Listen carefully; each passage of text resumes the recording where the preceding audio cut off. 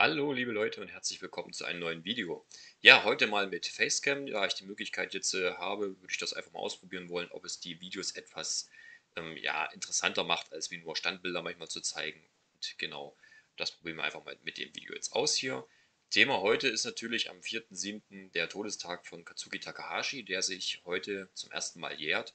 Und ich dachte mir, weil der Kanal ja auch sehr auf Nostalgie und so die vergangenen Sachen aus ist, schauen wir einfach mal in eine fast 20 Jahre alte Banzai-Ausgabe rein, denn dort hat man, also hat Carlsen Comics damals mit ihrer Banzai-Geschichte hier ein fantastisches Interview geführt mit Katsuki Takahashi und das würde ich heute mal mit euch durchgehen wollen. Da sind nämlich ein paar interessante Antworten von ihm drin und unter anderem auch eine Top 10 seiner Lieblingsmonster-Karten. Ja, das passt natürlich sehr schön, weil man das auch immer wieder auf YouTube findet, wenn verschiedene Leute ihre Top 10 vorstellen und ja, mal vom Meister persönlich die Top 10 zu sehen, ist, denke ich, auch eine ganz spannende Sache. Und ja, generell also würde ich das heute auch mal nicht so äh, super fröhlich, aber auch nicht super traurig gestalten wollen, sondern versuchen neutral. Nicht? Wie gesagt, das ist ja jetzt kein, kein besonders tolles Ereignis gewesen letztes Jahr, äh, das Ableben. Und ja, von daher wollen wir es heute mal etwas ruhiger angehen lassen als sonst. Und ja, fangen wir einfach mal direkt an. Also hier habe ich das einfach mal rauskopiert, die ganze Geschichte. Und um das besser zeigen zu können mit dem Ranzoomen. Und ja, ich bin hier oben auch zu sehen, sehr gut. Genau, also fangen wir gleich mit dem Interview an. Also, soll ich alle Fragen vorlesen oder nur bestimmte? Ach, ich nehme mal einfach ein paar. Als Sie mit Yu-Gi-Oh! angefangen haben, was war da Ihr bevorzugtes Thema? Freundschaft, die Verbindung zwischen zwei menschlichen Wesen. Ja, das merkt man ja im Manga immer wieder sehr deutlich. Haben Sie beabsichtigt, dass sich Yu-Gi-Oh! auf Kartenspiele oder irgendeine andere Art von Spiel spezialisiert? Ich wollte einen Kampfmanga mit Spielen als Hauptthema zeichnen, aber ich hatte keine Ahnung, dass Kartenspiele der Schwerpunkt werden würden. Die Kartenepisode war ursprünglich als einzelne Geschichte geplant, aber sie löste eine so große Reaktion bei den Lesern aus, dass ich die Idee erweiterte. Ja, ähm, das ist ein sehr interessantes Detail, was vielleicht die Jüngeren von euch nicht wissen dass das ganze Kartenspiel tatsächlich nur mal so eine Episode in dem ganzen Manga sein sollte. Ja, generell ging es ja da auch um andere Brettspiele und andere weitere ausgedachte Spiele von Herrn Takahashi. Und das wäre der eigentliche Schwerpunkt gewesen, die unterschiedlichsten Spiele mit dem Spiel der Schatten halt zu spielen. Und ja, das Kartenspiel kam aber so gut an bei den Leuten, dass dann tatsächlich immer mehr halt die Karten auch tatsächlich umgesetzt wurden, anfangs nur als Merchandise-Artikel und dann später halt auch als richtiges Spiel, so wie wir es dann später kennengelernt haben. So, hat die Umsetzung des im Manga beschriebenen Spiels in, einem echt, in ein echtes Kartenspiel Probleme bereitet? Im Manga mussten die Regeln im Dienste der Geschichte vereinfacht werden. Ich denke, das ist klar. Ich glaube, dass im Manga nicht das Kartenspiel selbst, sondern die Charaktere, die es spielen, beschrieben werden müssen. Ja, äh, genau so ist es ja auch. Die, das, das Manga soll natürlich, der Manga soll natürlich in erster Linie Geschichte erzählen, die Charaktere einen näher bringen und weniger jetzt auf irgendwelchen Regeln herumreiten. Ähm, ist klar, dass die Regeln damals auch noch nicht so ausgefeilt waren, gerade weil es ja nur als eine Episode geplant war. Da würde ich natürlich auch nicht jetzt eine komplette, äh, ein komplettes Regelbuch schreiben, damit man dann in einer Folge von dem Manga dann so ein Kartenspiel halt ähm, ja, zeigt. Also ist absolut verständlich, dass das natürlich auch nicht so ausgearbeitet war. Hat sich das Kartenspiel im Manga geändert, nachdem sie wussten, dass das Spiel nun auch wirklich existiert? Ich glaube nicht, dass sich viel verändert hat. Wichtig ist, ob die Karte zum Charakter passt oder nicht. Die Karte dient als Repräsentation der Persönlichkeit, des Denkens und der Strategie des Charakters. Und das ist so eine der wichtigsten Aussagen in diesem Interview, wie ich finde, weil man findet es ja manchmal so in den, ja, im Internet so bei den Memes ab und zu mal so die, die Oldschool-Spieler werden dann immer so hingestellt, so ja, wie sie da ihr Deck zusammenstellen, nach ihrer Persönlichkeit entsprechend angepasst und so weiter. Aber genau das ist ursprünglich mal der Grund gewesen. Und genau nach diesem Gesichtspunkt wurden halt auch viele Decks und Karten designt. Also von daher äh, ist, ist dieses, dieses Denken, dieses Deckbauen nach eigenen Interessen oder, oder vielleicht auch nach Charaktereigenschaften eigentlich sehr nah an dem dran, was äh, Takahashi damals damit eigentlich so sich gedacht hatte. Deswegen kann ich das. Und es hat auch sehr viel Spaß gemacht. Das muss man natürlich auch dazu sagen. Also irgendwelche Decks nach den eigenen Interessen zu bauen, war immer super lustig. Ja? Die, die ganzen Lieblingskarten, die man hatte, egal ob das jetzt der bläuliche weiße Drache war und oder was weiß ich, äh, Jinso oder so, das, die konnte man irgendwie alle in ein Deck bringen, was man auch spielen konnte. Es war nicht immer das stärkste Deck vielleicht, aber es war immer ein ja, funktionierendes Deck, sage ich mal. Heutzutage geht das ja gar nicht mehr mit den Themendecks. Also pack mal in irgendein, weiß ich, Kastierer ist ja momentan sehr äh, beliebt, pack da mal den weißen Drachen rein. ja, also macht niemand, logischerweise. so, gibt es außer Yugis Namen noch mehr Namen mit besonderer Bedeutung? Ja, die Frage ist nicht so interessant, aber komm, wir nehmen sie mit. Die erste Silbe von Yunichi kommt von Yucho. Ich weiß nicht, wie man das japanisch ausspricht. Äh, Anmerkung der Redaktion, japanisch für Freundschaft. Kaibas Familienname Seto ist von, den, von der altägyptischen Gottheit Set abgeleitet.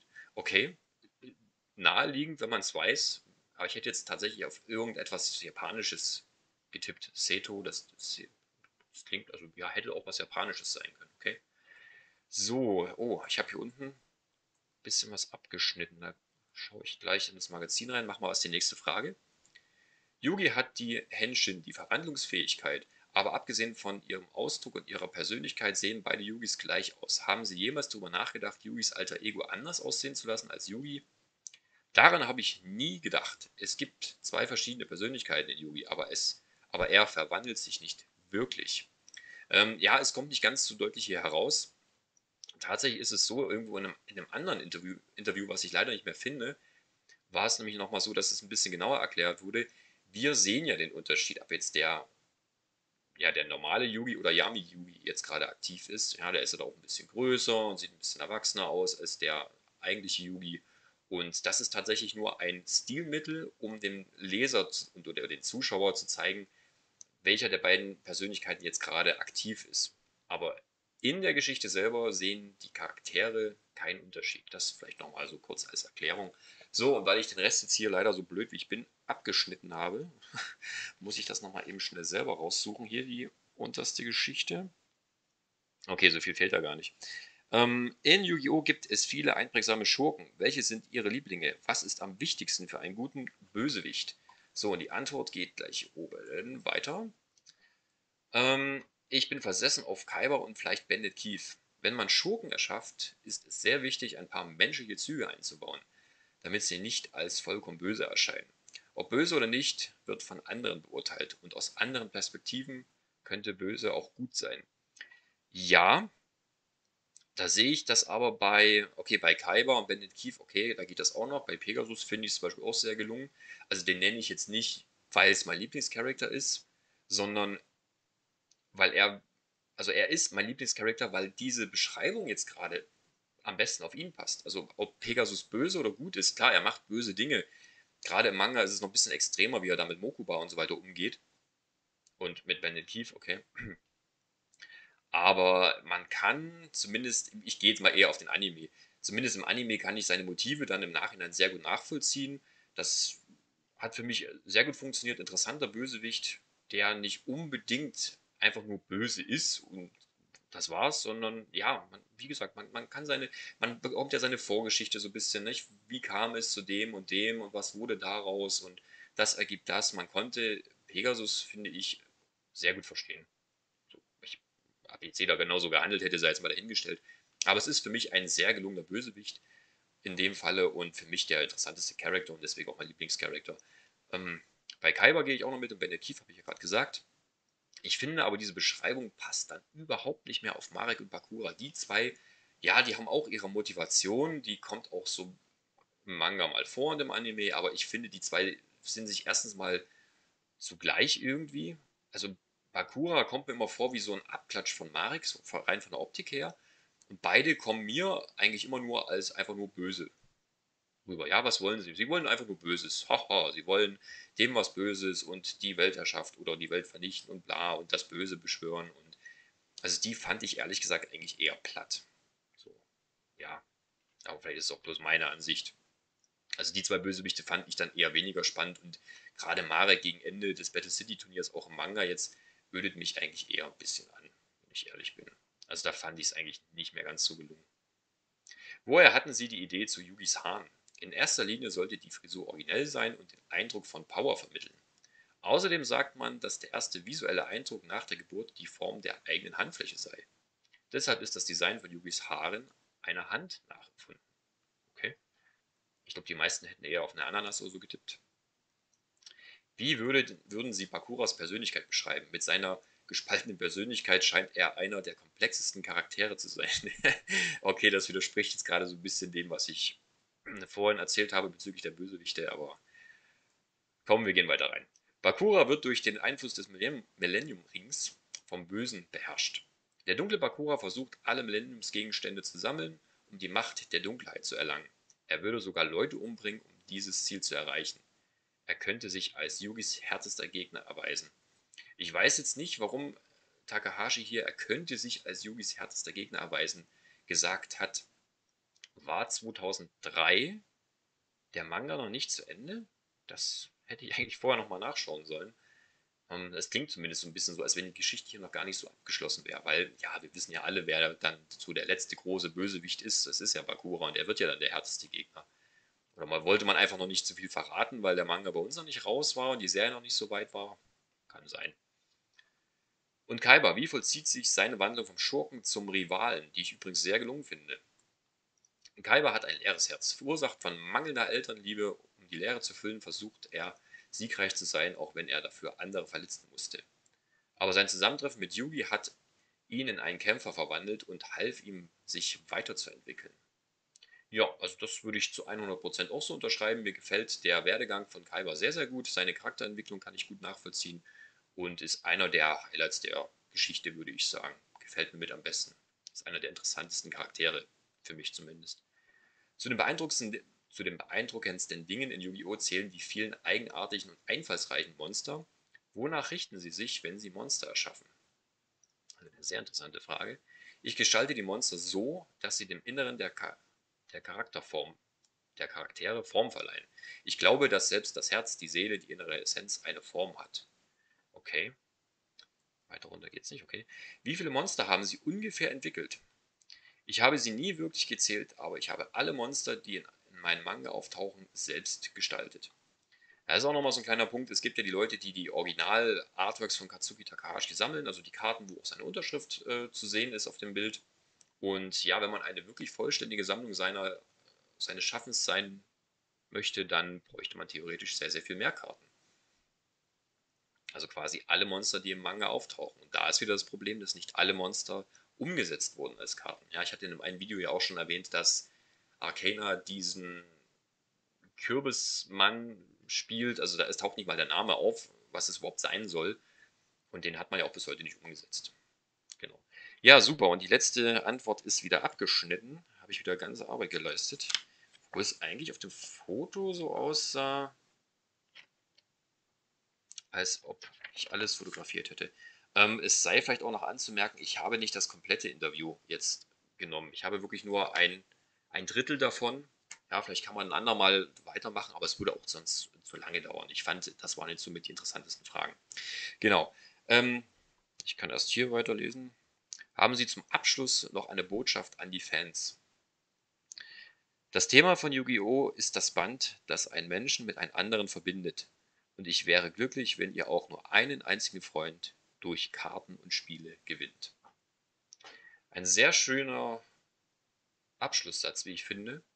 Denn ich glaube, wir können dem alle beipflichten, dass es einer der absoluten ja, positiven Punkte bei Yu-Gi-Oh! ist, dass wir dadurch natürlich viele Leute kennengelernt haben, dass wir uns seit 20 Jahren mit diesem äh, Thema, mit diesem Kartenspiel beschäftigen, spricht ja eigentlich auch für sich. Und es haben sich ja auch noch andere Sachen daraus entwickelt. Ja, der eine sammelt es nach wie vor leidenschaftlich, der andere spielt es nach wie vor leidenschaftlich oder fängt jetzt erst an. Ähm, der nächste hat dadurch wirklich viele Leute wieder kennengelernt. Ich denke gerade da auch an meine Schulzeit, wie viele verschiedene Menschen man dann plötzlich kennengelernt hatte. Ja, vorher war jede Klasse ja so für sich. Und als es dann mit Yu-Gi-Oh! losging, hatte man mit so vielen anderen Klassen oder Leuten aus den anderen Klassen zu tun in der Pause und hat die dann kennengelernt und gemacht und hatte dann viele neue Kontakte nur über dieses Spiel. Also an der Stelle kann man nur sagen, Herr Takahashi, da haben Sie ähm, ja ganze Arbeit geleistet, hat komplett funktioniert für viele Leute. Genau, und jetzt kommen wir zum Schluss nochmal zu der Top 10. Ich überlege gerade, ja gut, ich decke das jetzt nicht extra noch irgendwie ab, das wird so umständlich. Und einige kennen es ja bestimmt schon. So, das ist dann nämlich die Top 10 Liste von Herrn Takahashis. Ja, 10 Monsterkarten, die er am liebsten hat, hatte zu der Zeit. Und da schauen wir mal rein. Gaia Zorniger Ritter auf Platz 10. Äh, auch da habe ich wieder was abgeschnitten. Da stand dann aber, glaube ich, ich mag ihn, aber man bekommt Schmerzen im Hintern beim Zeichnen oder so ähnlich. Moment. Ich mag ihn, aber man kriegt Schmerzen im Hintern beim Zeichnen. Ja, genau. Also es hat wahrscheinlich etwas länger gedauert, äh, Gaia zu zeichnen. Und ja, kann, gut, ich kann es mir vorstellen, diese ganzen kleinen Details und das Pferd noch dazu, das jedes Mal im Manga. Ich habe es schon so manches Mal beim Manga gedacht, bei einigen Bildern, so, boah, das muss ja ewig gedauert haben, das zu zeichnen. Und Mann, was für eine Arbeit. Platz 9, Zeitzauberer. Eigentlich ist es eher eine Magie als eine Monsterkarte, aber Punkt, Punkt, Punkt. Ähm, ja, da hat er auch recht. Den Zeitzauberer spielt man, glaube ich, meistens nur wegen seinem Effekt. Und zwar auch nur in dem Moment, wo man ihn dann wirklich schnell anwenden kann. Also ich glaube, es gibt kaum eine Situation, wo jemand ihn zum Verteidigen spielt oder erstmal raushaut. Und äh, so, da bin ich wieder kleine Unterbrechung. Ich dachte, es hatte geklingelt und tatsächlich, es hat geklingelt. Die Post hat eine neue, schöne Karte gebracht, die ich dann bei Gelegenheit vorstellen werde. Genau, wir waren beim Zeitzauberer stehen geblieben. Ja, stimmt, der wird eigentlich mehr wie eine Zauberkarte eingesetzt, weil man die ansonsten eigentlich weder zum Angreifen noch zum Verteidigen benutzt. So, die Nummer 8, Exodia die Verbotene. Ja, Exodia die Verbotene ähm, ist ja logischerweise, oder wer sich ein bisschen auskennt, weiß, dass es natürlich äh, Osiris-Anspielung ist, sage ich mal. Ich steht ja auch dann hier, äh, die Karte, diese Karten beruhen tatsächlich auf dem Mythos. Ja, also Osiris wurde ja auch zerteilt und seine Körperteile überall versteckt in Ägypten und so weiter und mussten dann wieder zusammengetragen werden. Und daran angelehnt ist natürlich Exodia. Auf Platz Nummer 7 das schwarze Magiermädchen, weil es nicht so viele weibliche Monster gibt. Ach, zu der Zeit war das tatsächlich noch so. Ich glaube, inzwischen ist das komplette Gegenteil der, der Fall. Also wie viele mädchenartige Yu-Gi-Oh! Karte es inzwischen gibt, ist ja Wahnsinn. In irgendwelchen Kostümchen und tralala, auf niedlich gemacht, auf, auf cool gemacht und also ich, ich habe auch eine, nee, ich habe sogar zwei Seiten in meiner Sammlung voll mit weiblichen Charakteren inzwischen. Also da hat sich inzwischen was getan, aber man könnte es langsam auch ein bisschen wieder äh, zurückfahren, wie ich finde. So, auf Platz Nummer 6, Buster Blader. Als diese Karte in Japan beworben wurde, gab es eine Werbung mit sehr coolen Computeranimationen. Habe ich nie gesehen, keine Ahnung, was es da für eine Werbung zu gab. Aber die, diese eine Karte wurde beworben. Diese einzelne Karte, cool. Müsste man echt mal nachschauen. Platz Nummer 5, Pantherkrieger. Der Touch von US-Comic ist sein Bonus. Ja, das stimmt allerdings. Der Pantherkrieger erinnert tatsächlich an diese amerikanischen Comics. Platz Nummer 4, rotäugiger blauer Drache. Ich finde, das ist ein cooles Monster. Das finde ich auch. Habe ich in einem anderen Video auch schon gesagt, dass ich den irgendwie cooler finde als den blauig-weißen Drachen, so rein von der Optik her und den ja, habe ich auch mal sehr gerne gespielt. Und ist bis heute so eins meiner Lieblingskarten. Taucht aber, glaube ich, nicht in der Top 10 Liste auf, die ich letztens gemacht habe. Drittens, Kuribo. Was soll der Ausdruck in seinen Augenbrust bedeuten? Keine Ahnung, knuddel mich. Platz Nummer 2, Dunkler Magier. Das japanisch, also der japanische Originaltitel Schwarzer Magier. Er ist immerhin die Hauptcharakterkarte. Ja, mehr gibt es dazu eigentlich auch nicht zu sagen. Natürlich ist der dunkle Magier gerade deswegen so beliebt, weil er natürlich Yugi seine ja, Charakterkarte ist, sage ich mal. Und auf Platz 1, jetzt wenig überraschend, äh, der blauäugige weiße Drache. Es gibt immer noch kaum ein Monster, das ihn schlagen kann. Ja, zu der damaligen Zeit tatsächlich, glaube ich, immer so mit das stärkste Monster von der ATK her gewesen und bis heute ist er zumindest das stärkste normale Monster. Also es gibt, glaube ich, kein normales Monster, was mehr als 3000 ATK hat. Das hat Konami tatsächlich bis heute beibehalten, was ganz cool ist. Genau. Ja, das wäre die Top 10 von Katsuki Takahashi gewesen. Und wir wären dann auch so am Ende des Videos. Ich hoffe, dass mit der Webcam hat so ein bisschen das Video vielleicht auch aufgewertet. Ähm, da kann man auch mal über andere Sachen so nebenbei reden. Da muss ich mir nicht mal überlegen, was ich einblende. Es gab schon manchmal so Themen, wo ich dachte, da würde ich gerne mal drüber reden.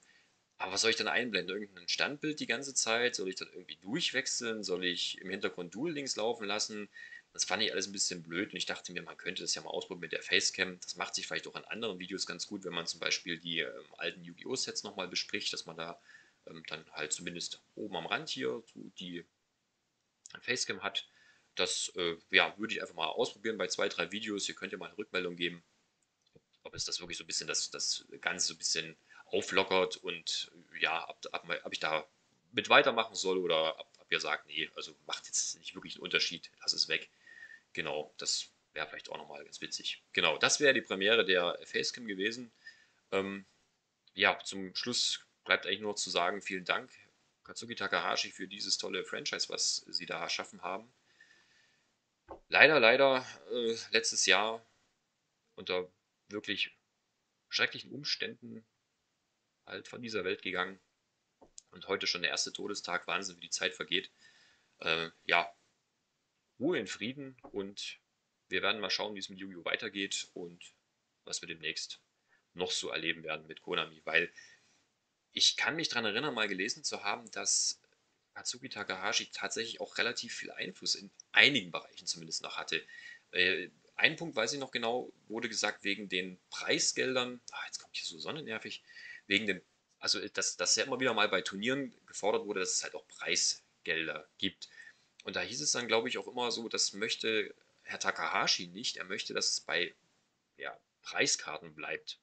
Was ich eigentlich auch sehr cool finde, weil ich glaube, es war auch seine Begründung, weil es geht um die Sache an sich, um den Erfolg, um dieses Erlebnis, dieses, dieses, dieses Event, ne, dieses Kartenspiel an sich und dass man dann halt als Preis eine besondere Karte bekommt.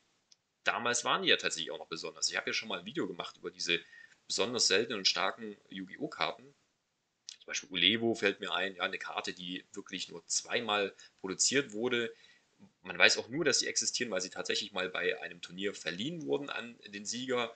Und ja, aber der Verbleib ist tatsächlich bis heute unbekannt. Man weiß nicht, wer diese Karte hat, was sie inzwischen wert sein könnte. Und ja, das ist eigentlich eine tolle Sache gewesen, dass es da mal solche richtig schicken, seltenen Preiskarten gab. Äh, inzwischen gibt es ja nur noch, ja, es gibt auch noch Preiskarten jetzt, die finde ich aber relativ unspektakulär. Und diese Trophäen, die ich ein bisschen hässlich finde, wenn ich ehrlich bin. Also, naja. Aber schön, dass es immer noch so ein bisschen beibehalten wurde, dass man keine Preisgelder ausschüttet. Ja, also da hat auf jeden Fall, das hatte ich, ich müsste es nochmal raussuchen, ich habe das aber gelesen und fand das wirklich klasse, dass da äh, Herr Takahashi wirklich darauf bestanden hat, dass man da wirklich jetzt keine Preisgelder aussteht, dass es nicht um Geld gehen soll bei der ganzen Sache. Das fand ich eigentlich eine ziemlich gute Geschichte. Und auch noch bei anderen Dingen hat er hier und da so ein bisschen mitbestimmen können. Ich meine auch, welche Karten released werden. Zum Beispiel die vierte Götterkarte Horachdi. Ich meine, da hieß es auch mal, dass Katsuki Takahashi nicht wollte, dass die irgendwie nochmal geprintet wird oder so. Das sollte halt wirklich so ein besonderes äh, Kärtchen sein für dieses Preisausschreiben oder was es da damals gab, um die Karte zu bekommen. Und ja, mal schauen, wie das da jetzt so weitergeht, ob sich da irgendwas lockert, ob sich irgendwas bessert, äh, ob man überhaupt da jetzt einen großen Unterschied merkt, weil bisher hat Konami das Ganze ja auch relativ gut verwaltet. Es gibt ein paar Sachen, die man bemängeln kann. Das hat aber jetzt weniger mit dem Schöpfer an sich zu tun und ähm, ja, da müssen wir mal schauen, was die Zukunft so bringt. Genau. Genau, das soll jetzt erstmal so ein bisschen das äh, Video zum ähm, ja, Todestag sein, der sich zum ersten Mal halt jährt, dass man mal so ein bisschen auf den Schöpfer von Yu-Gi-Oh! selber geschaut hat. Und ich denke, das war ganz interessant mit dem Interview. Wie gesagt, das war nur ein Drittel davon. Ich wollte jetzt nicht alles vorlesen. Vielleicht kann man da nochmal was hinterher schieben. Das Video ist ja auch schon lang genug, wie ich sehe. Und ja, würde sagen, an dieser Stelle beenden wir das für heute. Bin mal auf eure Rückmeldung gespannt. Bis die Tage, macht's gut und Ciao, ciao.